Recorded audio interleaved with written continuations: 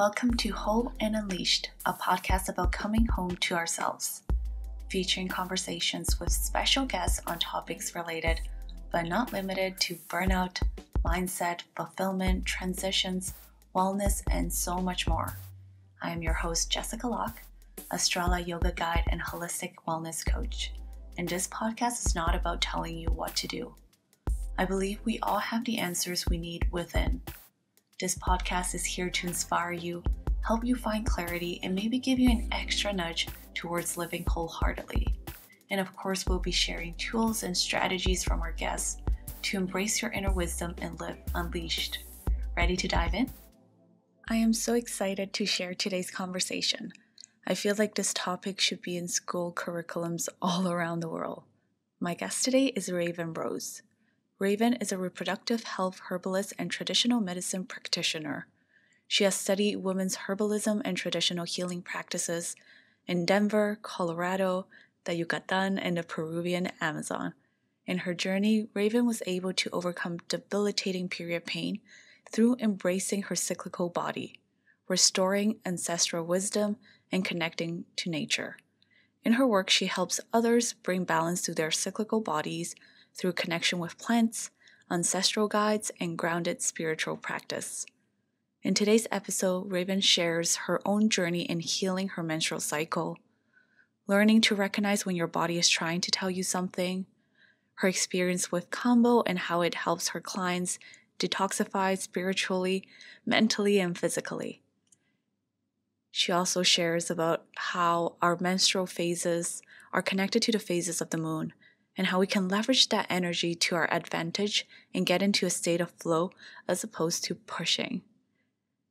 How we go through different cycles of creation and destruction, how to connect with your inner wisdom, and so much more. Come get cozy and join our conversation. Um, welcome, Raven. Tell me a little bit about yourself. Where are you from? Yeah, so I I'm uh, currently living in Florida. I spent most of my years in Florida, but I had about eight years living in North Carolina in a, a little town called Knightdale, and that was really um, impactful for me. I really loved being there and um, just growing up in a place that was so beautiful and clean um, that actually had a really big influence on my life. And um, yeah, but now I live in South Florida and it's really like right now it's wonderful. It's like so sunny and so nice to go bike riding every day, even in the wintertime. It's really oh, lovely. I'm not I'm not envious at all. what were some of your favorite memories growing up?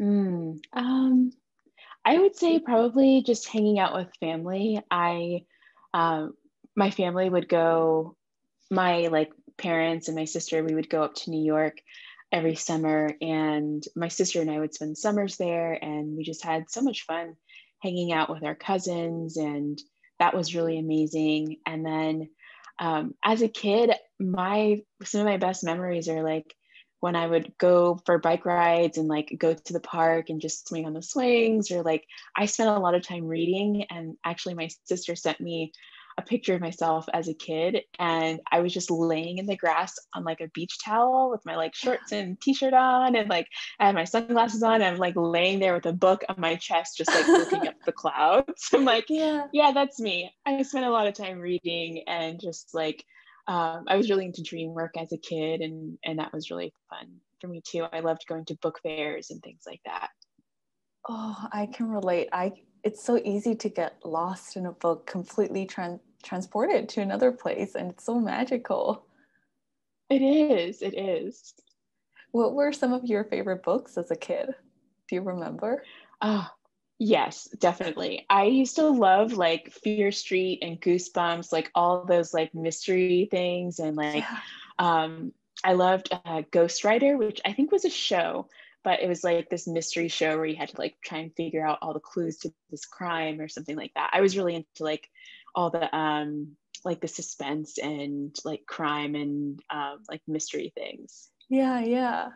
Do you think some of that interest got it's part of what you do nowadays.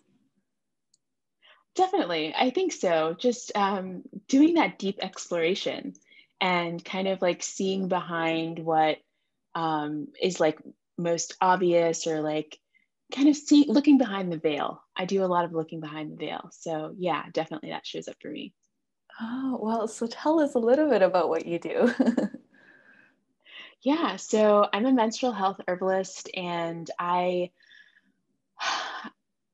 I would say I'm um, I do a lot of work in ancestry and um, healing the menstrual cycle and really just healing our connection with nature.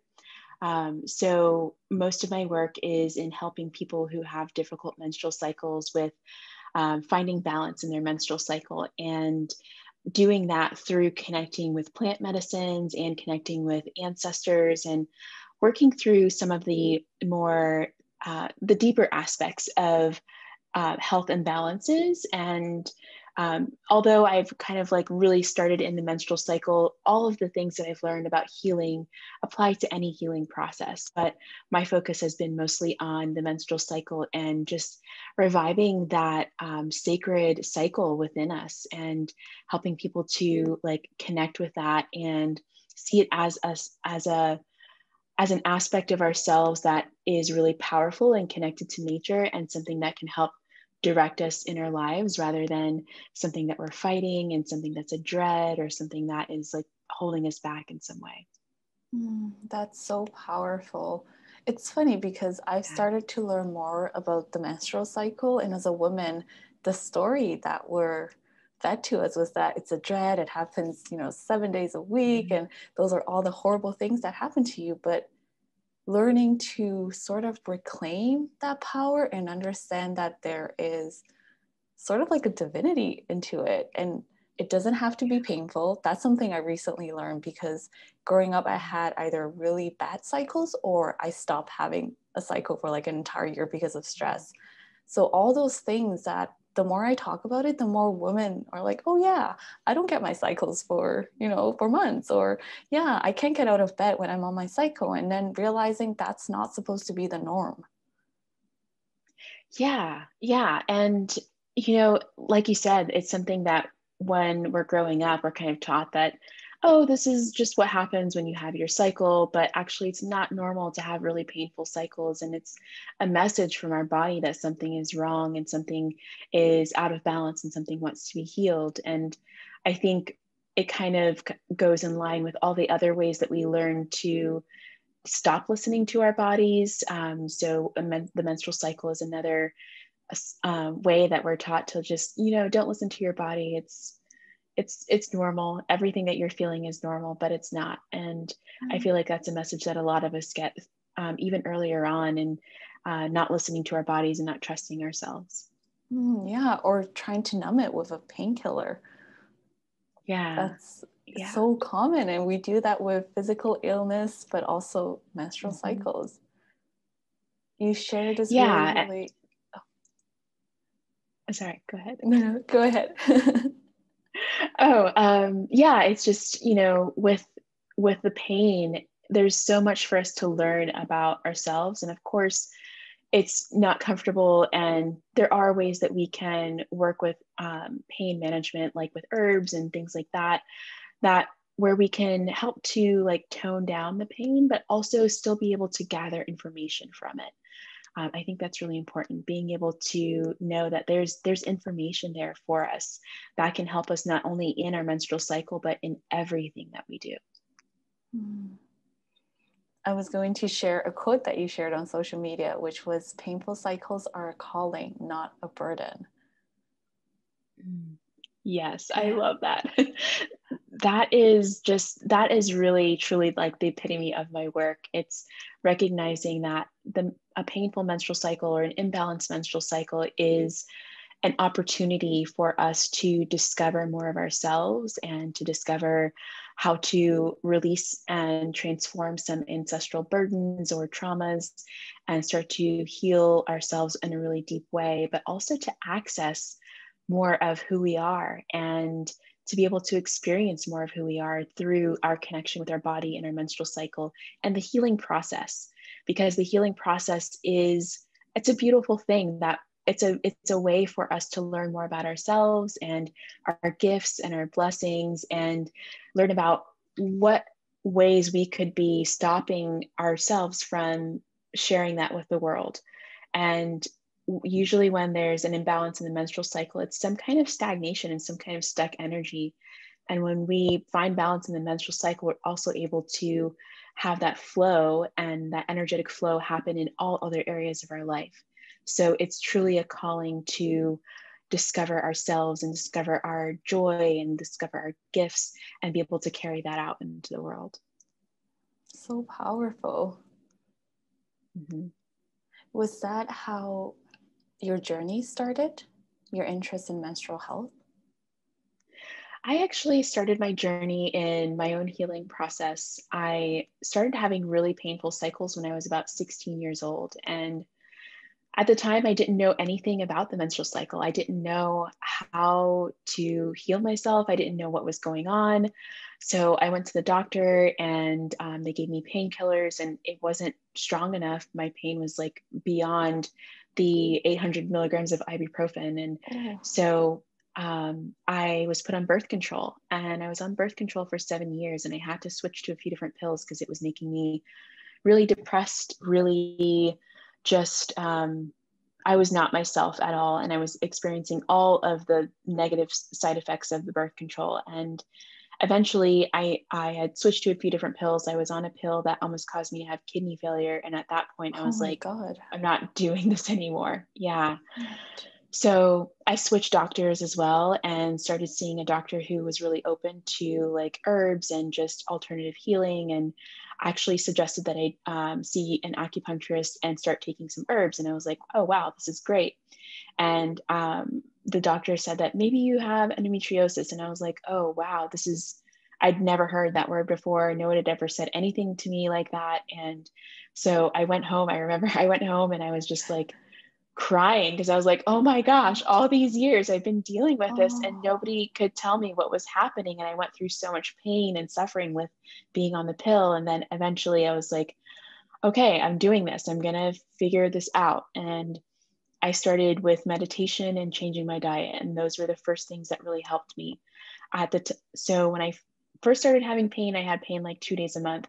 After being on birth control for seven years, I had pain 10 days a month.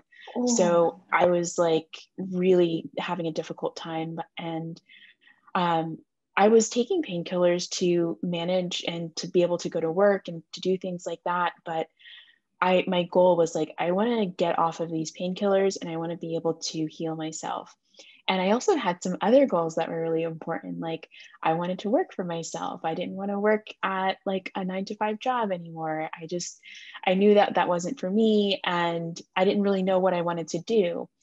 Um, I also knew that I wanted to like spend some more time traveling and I wanted to like I wanted to learn about tarot and all these other things. And as I was working through my healing process with my menstrual cycle and you know changing my diet i started learning about tarot and i started getting into ancestral work and, and guidance. And when i started hit, hitting some blocks with my healing where i got my pain back down to two days but it was still mm-hmm. really excruciating. And i was like i need some i need some more help. I had like exhausted all of my resources as far as diet and lifestyle changes that and things that i would read about online or in books and I was like, something else is going on here. And that's when I started really getting into ancestral um, healing and asking my ancestors for help. And from there, I was guided to start studying herbalism. And that was a really exciting journey. And I did uh, three years of herb school. And I had an opportunity to go to the Yucatan and study womb massage. And that was really amazing. And I also had an opportunity to go to um, to Peru to the Amazon jungle. I was living in the jungle for about a month oh. and I was studying how to work with Kambo, and that was really yeah. powerful. Um, and I just had all these amazing experiences along the way in my healing process. And as I got to the point where I was really, I had really seen a big change in my own menstrual health, and I was starting, people were actually starting to come to me, and I was like, oh, wow, I guess this is what I'm doing now. Right. and I started to help other people. And I was like, wow. So, like, I looked back and I was like, oh my gosh, all these things that I wanted way back when I was starting my healing process, now they've come to fruition and I have my own business and I love the work that I do. I am like deeply like I, I had learned not only did I learn tarot, but I actually learned tarot through dreaming with my ancestors, which was really powerful. Wow. And I just like had all these wonderful experiences come to life. I got to travel and I got to, you know, just learn so much about myself and experience this really powerful and rich journey through that healing process and also have now cycles that are like so manageable. And um, it's just completely like it was such a beautiful journey and process. But you know starting out when i was just in so much pain and i didn't know what to do i didn't know that all of this was coming. Right. It really yeah. opened up such like a a doorway for you to kind of just walk through. It was almost like you're you were on the other side for the longest time. You just had yeah. to cross over.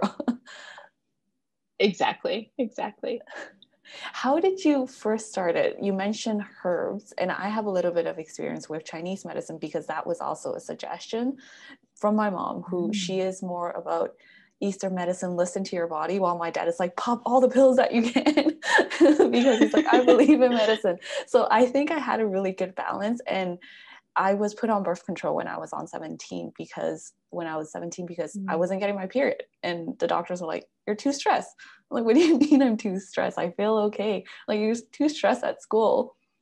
So my mom after a while was like here's some Chinese medicine and that helped and it brought me a pe- it brought my period back after not having it for almost like a year. I wasn't worried because I wasn't doing any anything that would be like oh you're pregnant or anything like that but i i was worried that it would affect my fertility so that's mm-hmm. why i'm mm. like give me the chinese medicine but for anyone who is not used to that notion or they don't know where to ask for help what would be the first step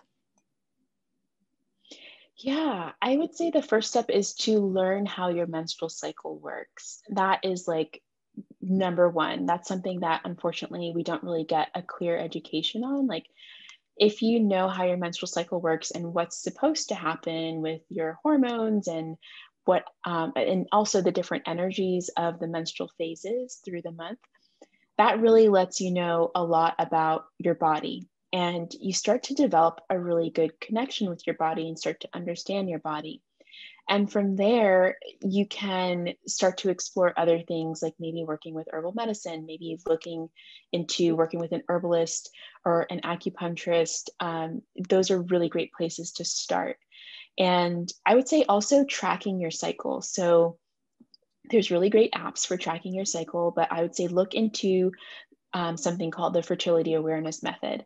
A lot of times it's used for um, either preventing pregnancy or for promoting fertility for people who want to get pregnant. But it can also just be a way of getting to know your body and the different phases of your menstrual cycle. You get to know, like, when we get to ovulation and our temperature, our waking temperature rises, which is called our basal body temperature. When that rises, that lets you know that ovulation happened and now you're in your luteal phase. You're moving into the phase of your cycle where um, your your energy is start to, starting to move more inward. You're more focused on doing rather than the mental um, focus that was in the previous phase. And also you're getting to a phase where you're going to start noticing a stronger intuition and you're going to start picking up on energies of people around you. And you're going to start kind of picking up on disharmony and imbalance because after the luteal phase comes menstruation and that's when you have an opportunity to release. So having those insights around hey this is kind of out of balance for me. Those are really great things to pay attention to.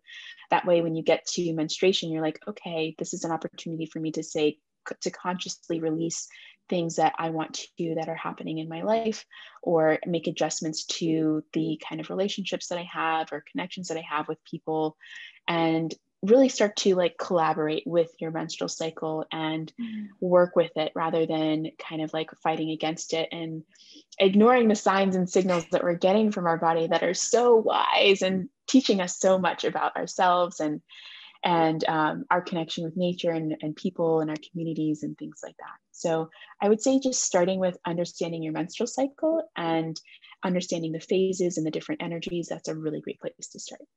Mm, I love how you mentioned collaborating with your cycle and your body. It's about working together after all. Yeah, absolutely. I know you talked a little bit about the phases, but what are the, is it four phases that we go through? There's like follicular, menstrual. Can you talk about that in a little bit more better yeah. order than how I shared it? yeah, absolutely. So, the first phase is going to be menstruation. That's the start of the menstrual cycle. And the menstrual phase is a more resting energy, a more inward energy. Um, it's not really a time for us to be going out and creating new things and putting all this energy in, in our outward world.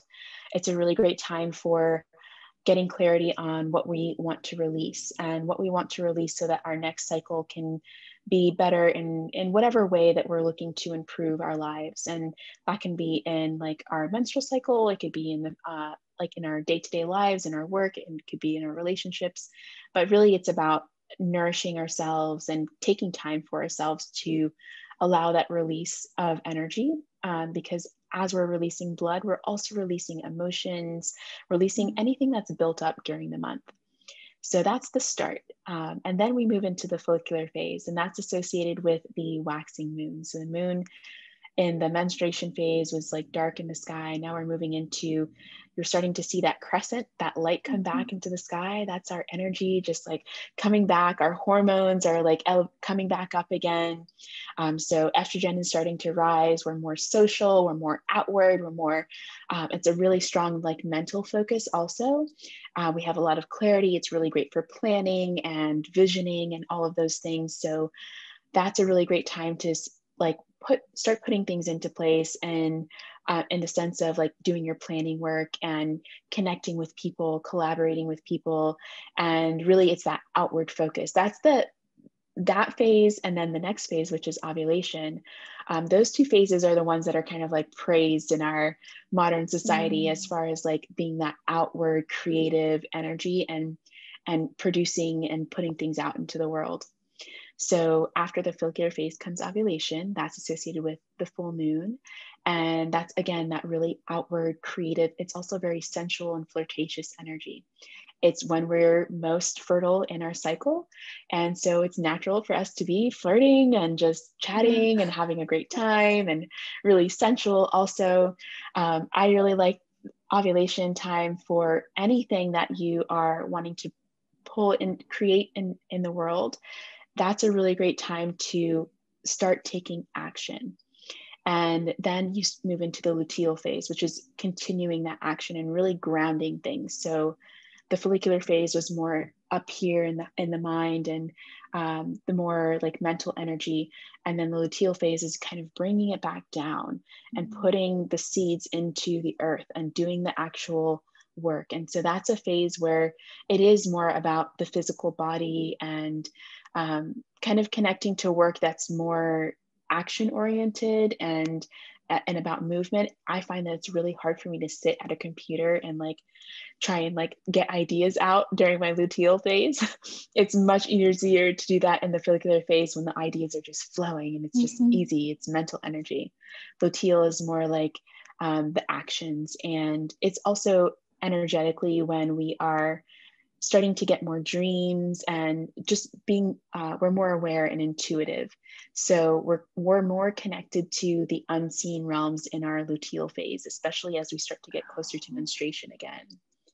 Yeah so that's a really great time for dream work. It's a really great time for one also like paying attention to the messages that we receive and taking action on them. So maybe not right away. Maybe if um, something comes up and it's really emotional observing those emotions, journaling, and then and then speaking to it, speaking about it, not letting things get stuck because the last thing we want before we're about to start releasing is to close things off. And a lot of times um, we are closing off those emotions and thoughts because society tells us that we're just being moody or we're not like um, PMSing. You know, just That's like keep it together. Term. Yeah, PMSing. Yeah. Exactly. It's the worst. yeah. No, there's there's something there. There's something behind it. We're picking up on things that are real and are truths. And it's a it's a time when, you know, in the past it may have been like really disruptive and i mean presently as well just really disruptive when someone who menstruates or a woman is like you know what this isn't working and we'll start to make changes and start to shift things and it kind of um, goes against the linear model of life and just like right. going ahead and just like ignoring all the signs and just like powering through. Um, that's not the way it is with this phase. It's like okay this these changes need to be made. That way we can do things more efficiently and do things more in line with what's actually working and what actually is like collaborating with our own truth and our own desire and what what it is that we're creating in the world. So that phase is like one of the um, more misunderstood phases and that one along with menstruation are the phases that unfortunately don't get enough love and um, attention. And those are the phases that we kind of like view as being more um, um not in line with with the with modern world. Yeah, with the masculine energy of pushing. That's basically flow yes. energy from how I've learned it from experience because I was all push, push, push until like collapse. So now that I'm have more time and space to be more inwards. I've started testing out, adapting my business to my different energy, like seeing people when I'm mm. the most social and then resting during the, I cannot pronounce it, luteal, luteal phase.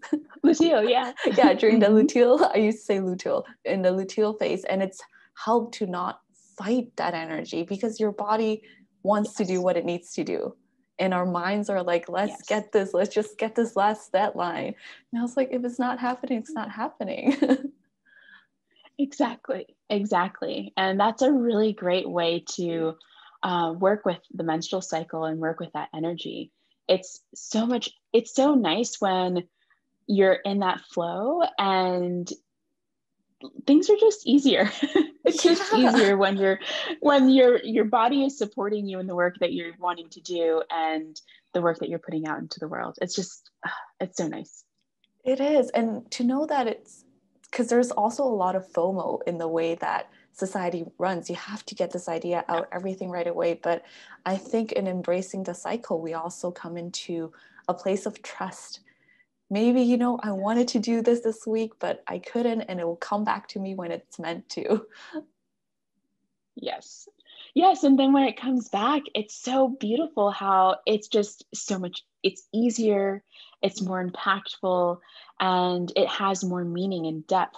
So it's it's a really like beautiful process to flow with the natural cycles. And because our menstrual cycle is a cycle of nature it's like nature happening nature's cycle happening in our body. So as we are able to listen to those signs we're able to connect more deeply with nature and kind of go with the flow of nature and things happen with greater ease. And it's really really beautiful Oh, I love that. For anyone listening, I've learned so much. I hope you can start applying this. I also noticed when you mentioned vivid dreams, I've been having a lot of vivid dreams, but they get even more vivid before my period. And I thought it was just, you yes. know, I'm getting dreams, but I never understood how to interpret them. So, how does dream work work? yeah. So, um, I love dream work. So, right before we start to right before menstruation starts we get this really great open uh, window of uh, new information coming through. And what i see is that in the luteal phase as we get towards the end of it we're kind of like in in between worlds. Um, we're in between that creation energy and then the destruction energy the that transition time um, it's a time when, for us personally, the veils are really thin and we're able to receive a lot of information. And dream work is so, so powerful. We get information from our ancestors, we get information from um, just our, our guides, our own. Um, our own thoughts and desires about what we want to move towards in our life, we get so much information about how to move towards that. And anything that could be holding us back, those dreams are like the best for understanding what we can release and what it is that we're working through personally on a deeper level that could be holding us back from our um, our visions for ourselves. So with dream work the most important thing is to keep a dream journal next to the bed. And when you wake up write down anything that you remember so if you remember your dream, write that down. If you just remember a feeling, write that down. If you remember a, um, if you don't remember anything, write down the first thought that you have when you wake up, or write down the sensations that you feel in your body when you wake up. And as you start to do that, that practice, you'll start to receive more and more information. And and then also have what I love about dreaming and um, really stepping into dream work is that it helps us to create a better relationship with night and just the natural cycles of light and dark in our lives.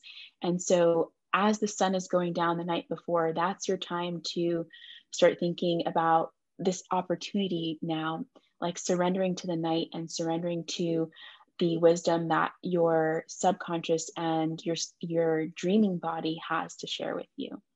Um, and I think a lot of people are um, hopefully coming out of this um, like energy of constantly pushing and um, kind of being disconnected from sleep and having a lot of sleep disturbances and stepping into the dream space and really inviting in the dream is a really great way to reconnect with our natural cycles and also reconnect with the guidance that we're always receiving because as we start to see things in our dreams and start to write about them then we'll start to see how those dreams are connected to things in our waking life too.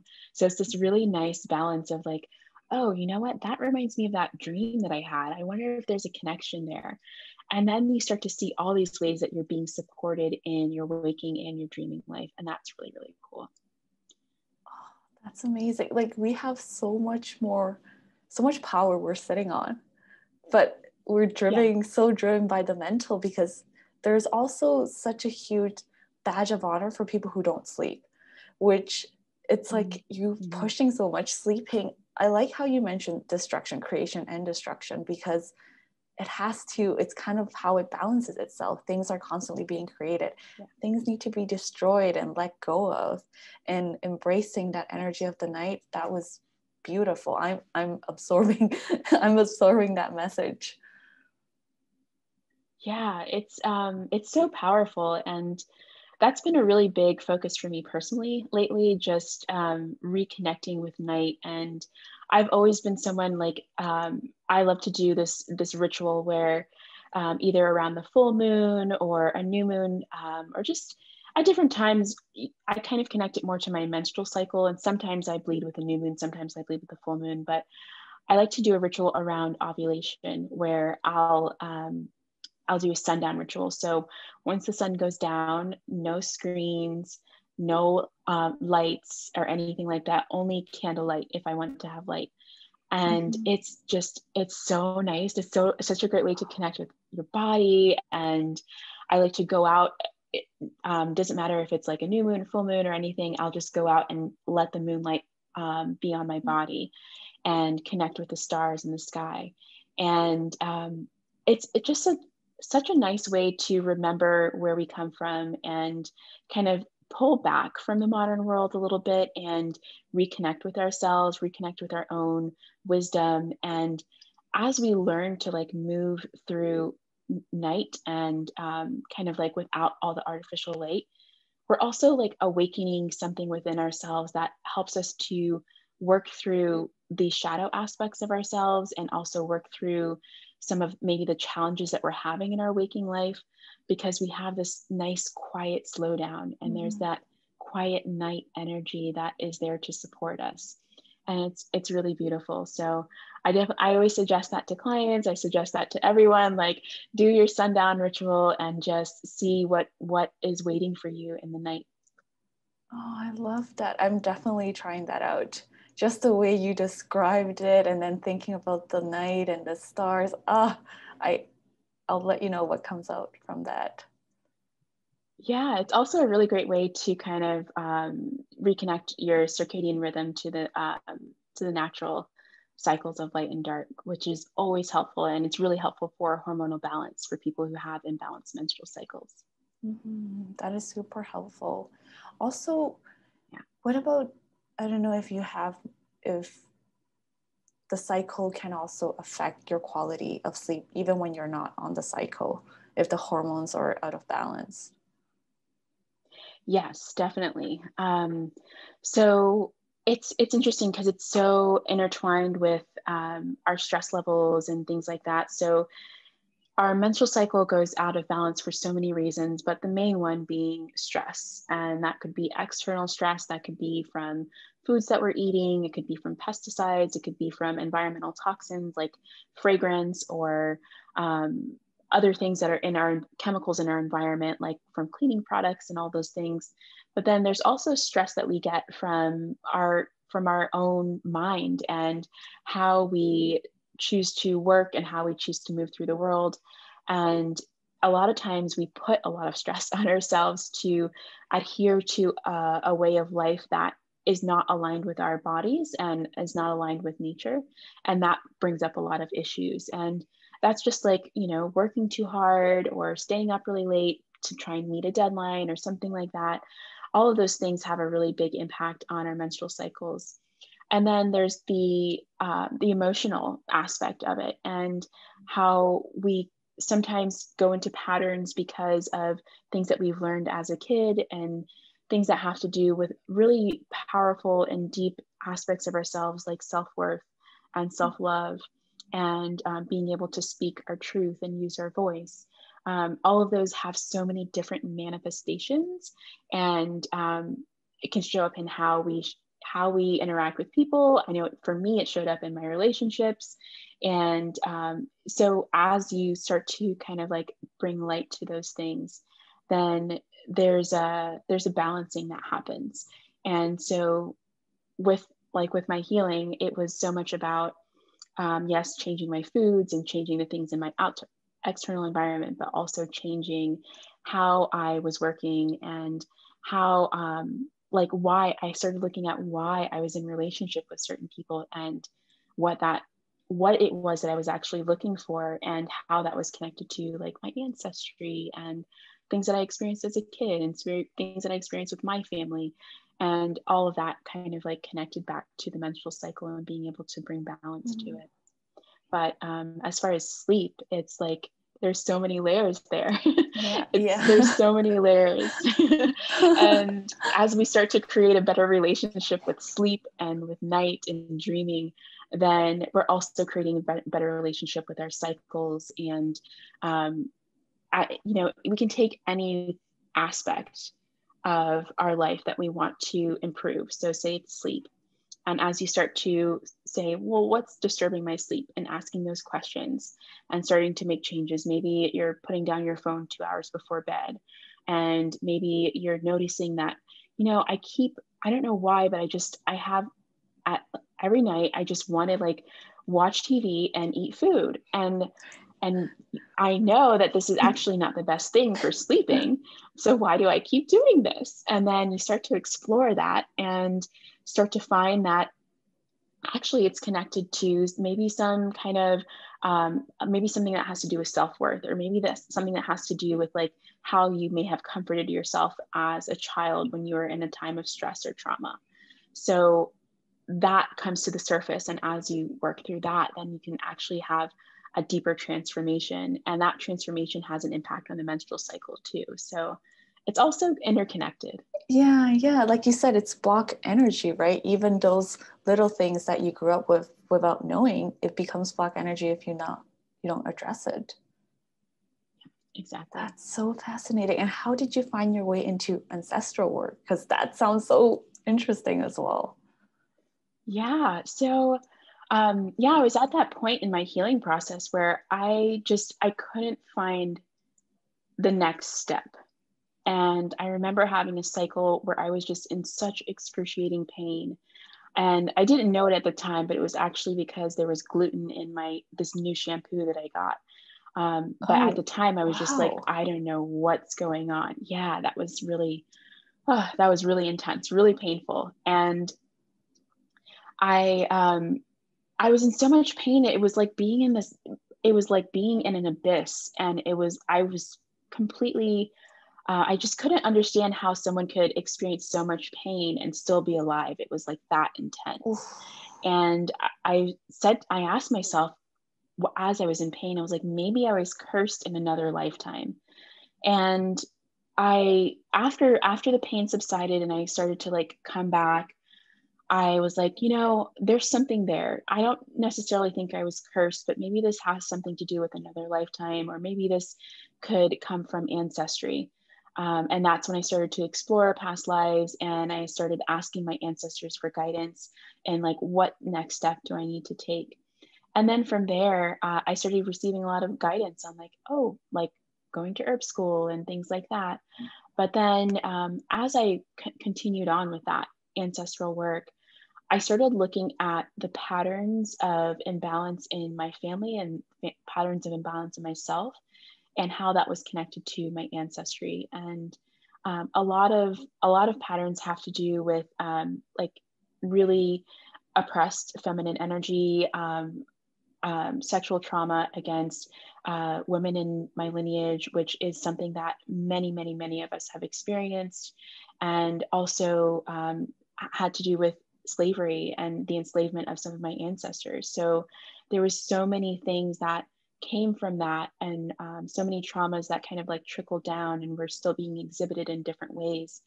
And as I was working with my ancestors, I was basically able to see how I was still exhibiting some of those patterns and how it was showing up in my day to day life. And then I could make changes to me. And as I did those changes for myself, it helped to heal the trauma of my ancestors as well. So, ancestral mm-hmm. lineage healing for me is more so about I'm doing my work and recognizing how those imbalances are showing up within me and how and my ancestors are collaborating and helping me to find balance in myself uh, that way i can tap into more of the ancestral blessings and kind of continue on all of the deeper work that they were doing in their lives mm-hmm. um, so it's a really beautiful like process of self-discovery and um, healing on this really deep level for myself and being able to access more joy and more uh, ta- be more connected to my own abundance and be more connected to uh, love and all those wonderful things that our ancestors want for us. Right it's so beautiful because we forget about how connected we are to each other and also the people that came before us and generational trauma and all that work heals yourself but it can also heal those who are no longer in us physic with us physically. Yeah and it also has an impact on everyone else that's in all the living descendants in the lineage. Mm-hmm. so not they maybe they're you know everyone's on their own path but as we do our own work and that has an impact on our on our lineages there can be little shifts and um, other people in our family can open up to healing as well um, of course, it's up to them to take that step if they want to do that in whatever way it looks like for them, because it doesn't necessarily have to be like doing ancestral work. Maybe it's maybe they decide to make a change in their diet, or maybe they decide to make a change in the way they're thinking about something, or maybe they kind of soften up to other people in the family.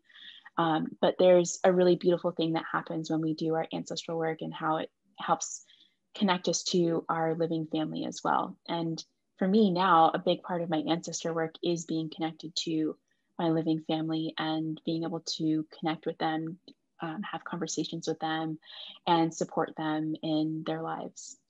Hmm. What if you're interested in doing the ancestral work and but your family doesn't believe in it? Can yeah, that's a really heal? great question. oh yeah, definitely definitely. And um, this is actually i so one of my clients was um, really interested in ancestor work and we started working together. And she wanted to connect more deeply and, and heal some trauma in her lineage. And so we did a session and got some really great information from her ancestors about um, practices that she could do to help herself but would also potentially help her family. And so she put things into place, put things into practice, and then um, one of the things that she was to do was to before going to this family reunion basically um, her and her mother and her sister actually were like okay we'll we'll do this. And it was just something simple just lighting a white candle and um, just saying thank you to the ancestors that came before and to all the ancestors that will be there at this um, family reunion. And um, so they did that. And previously where the um, when they had family gatherings, the men in the family would not talk to the women. They would only talk to them to give them orders, to Whoa. tell them things to do, to things to bring them. And they were very like very extremely racist, very sexist, very just like closed off from love. And um, so they she went to this family reunion and noticed that the men started talking to the women in the family and it was like this shift.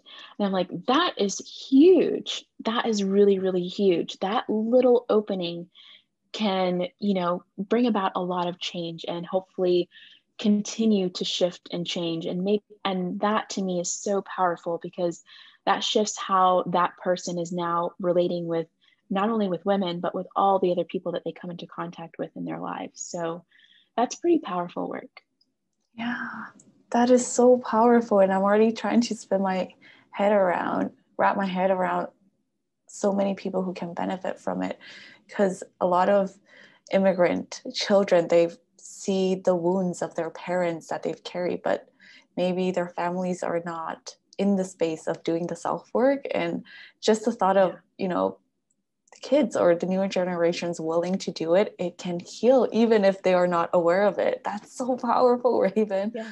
Oh my gosh, I got chills from that. yeah. Oh my gosh. When she told me that, I was like, what? I was in total shock. I was like, oh my gosh, this is so amazing. I was yeah. at, from that point on, I was like, wow, ancestor work is so important. Mm. What can people expect from an um, ancestral session with you?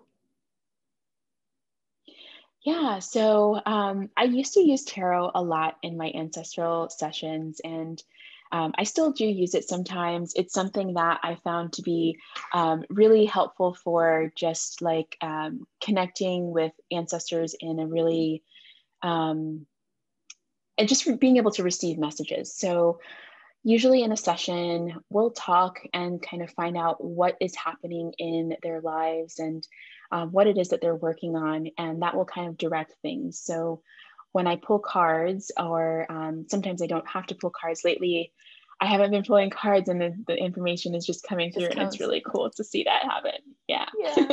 um, but uh, pull cards or not, and um, as the ancestors come through, they're giving a lot of really practical information. So, things that people can do and put into place to help them open up to greater wisdom within themselves.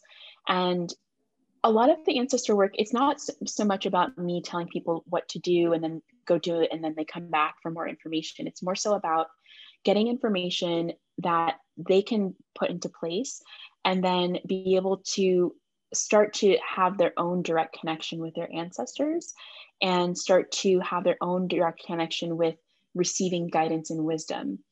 Um, because that's really what it's about. It's like being able to tap into that ancestral knowledge and how our ancestors were able to solve problems in their lives through their connection with different plants, with different rituals, with um, some ancestors have a really strong connection with earth energy and stones and crystals. Some ancestors have a really strong connection with plants and plant medicines, and then others have a really strong connection with like stars and um, cycles of like the moon and um, light and dark and things like that.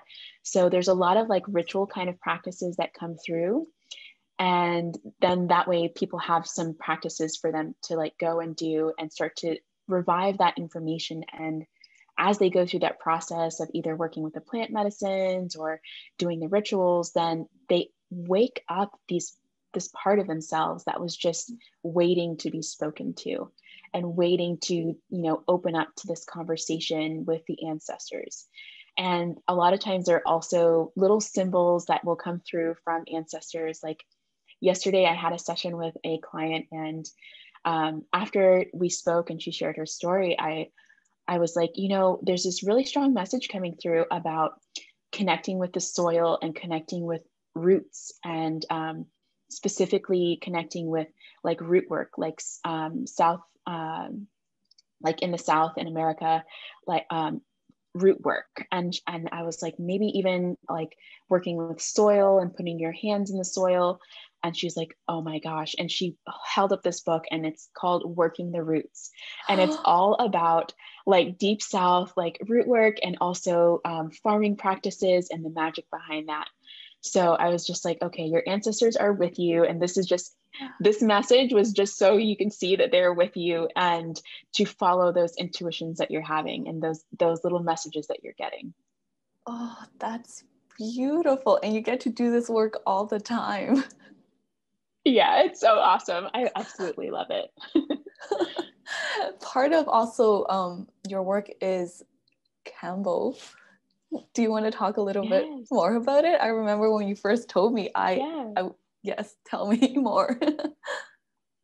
yeah, so Kambo is such a powerful um, medicine to work with. It is a frog poison from the green monkey tree frog um, that lives in the Amazon, and it's so it, it is a poison, and it pushes our um, our body to release toxins.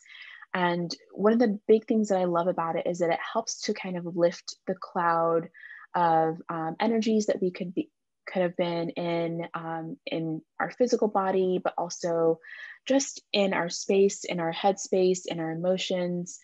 Kambo is a really powerful mover and opener.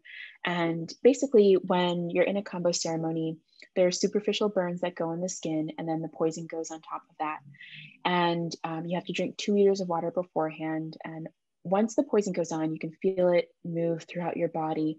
And then there's a purging that happens. And um, usually the purging is like throwing up. Sometimes people are going to the toilet, sometimes people are crying, but there's a release that's happening.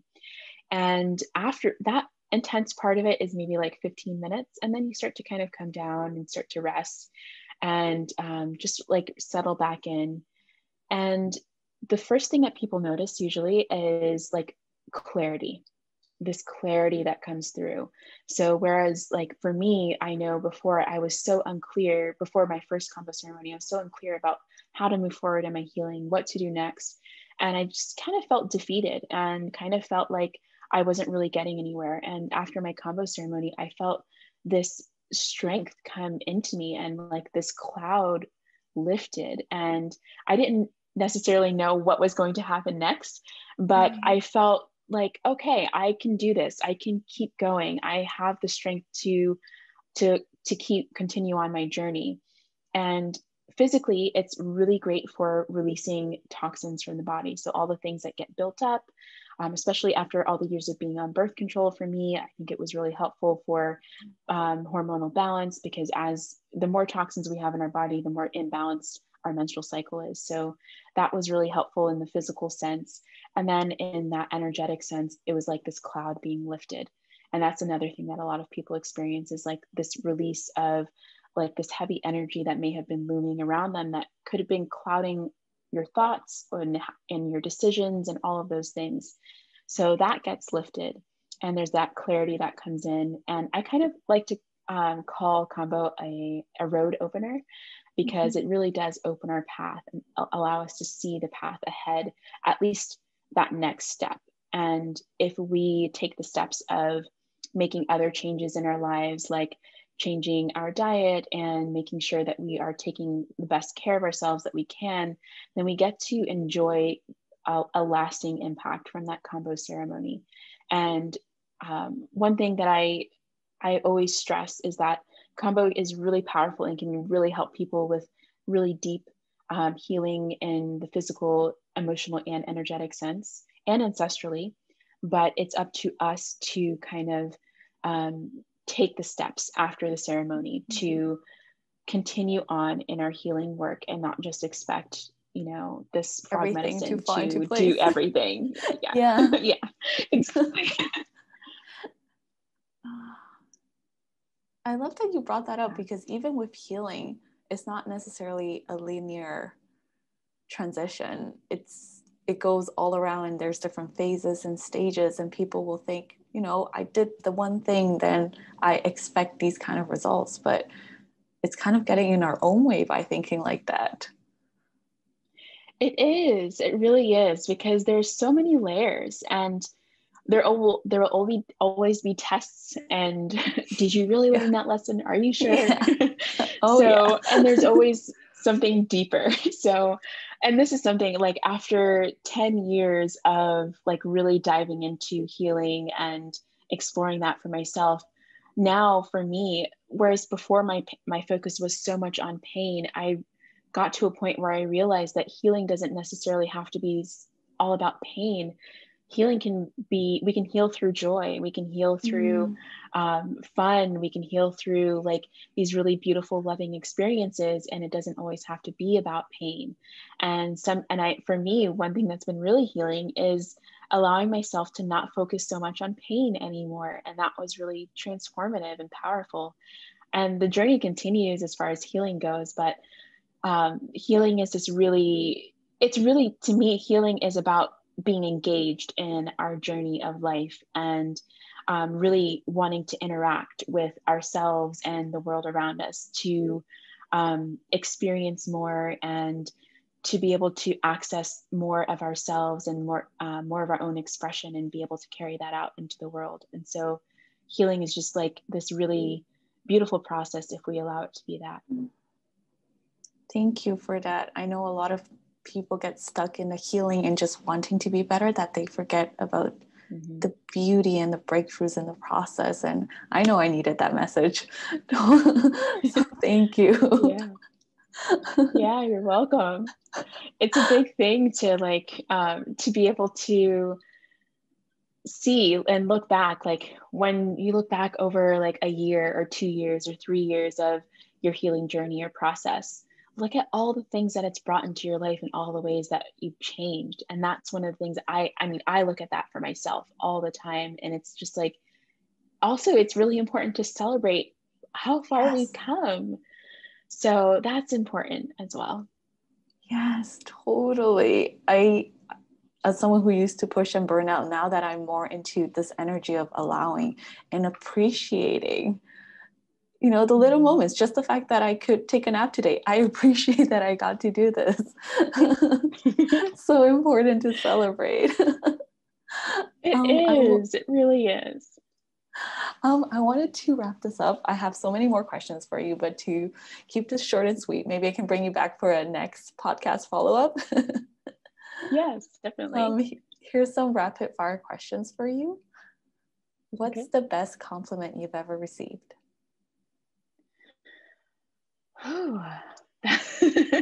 um, I would say, um, gosh, any compliments that I've gotten about my um, my voice, I people have told me, oh, I know exactly. Um, I, I, once had a flight attendant friend. I, I, used to be a flight attendant, and I, I had a, a flight attendant that I worked with on a flight to LA. And as we were getting off the plane, she's like, your voice is so calming. I just want you to read me bedtime stories. And I was like, that is so sweet.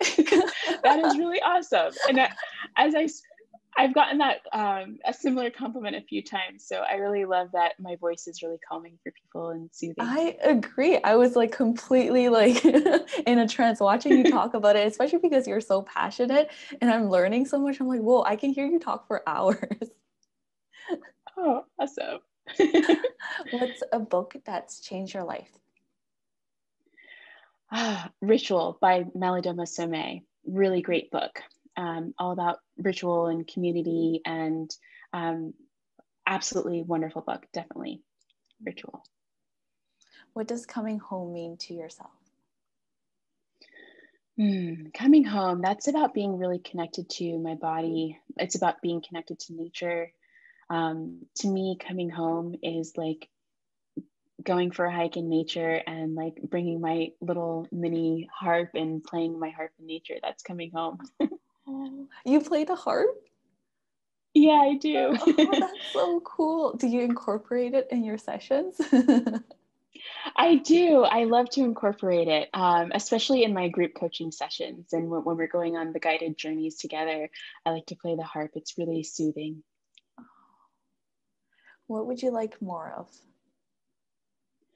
Mm, more fun. I want more fun and more play.